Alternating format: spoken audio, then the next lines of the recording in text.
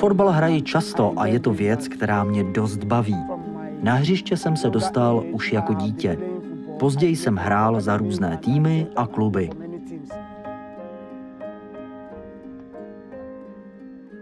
To, co mám vůbec nejraději, jsou vlastně dvě věci. Kopaná a řízení auta.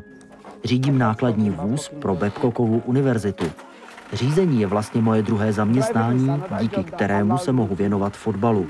Tyhle dvě věci si užívám.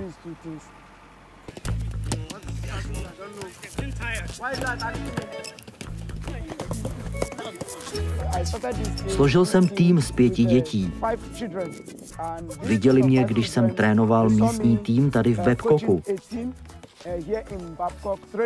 Během tréninku mě berou jako svého instruktora. Věří v podstatě všemu, co jim říkám.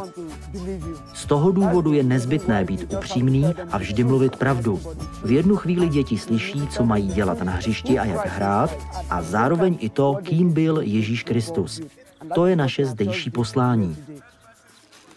Činnost na Babcockově univerzitě je ceným přínosem i pro místní komunitu. Vedení školy hledá tvůrčí způsoby, jak se zdejším lidem přiblížit. Silvánus, zaměstnanec univerzity, vede děti k tomu, aby svůj talent použili ke službě vyšším cílům. Svůj dětský fotbalový tým vytvořil z dětí různého vyznání a sociálního postavení. Prostřednictvím hry je chce mentorovat a vést ke skutečným hodnotám. Pokud chcete něco dělat a může to být v jakékoliv oblasti, je skvělé, když vás to zároveň těší a baví. Moje služba je přesně tím, v čem nacházím skutečnou radost. Zároveň je to způsob, jak se zdejším dětem více přiblížit. Jsme s nimi proto, abychom jim svědčili o Kristu a ovlivňovali tak jejich život. Hodně spolu komunikujeme, snažíme se ukazovat na Krista. Je to vlastně netypický způsob evangelizace, kterým směrujeme jejich životy. Proto musíme společně tak často hovořit.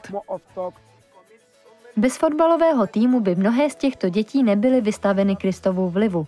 Je to pro ně určitý odrazový můstek, díky němuž se rozvíjejí ve škole života.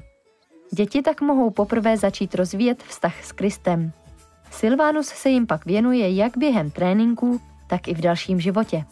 Prosím, modlete se za personál Babcockovy univerzity, aby i nadále mohl využívat své dary k této službě. To jediné, co si přeji, jsou modlitby za to, aby Kristus působil na naše životy.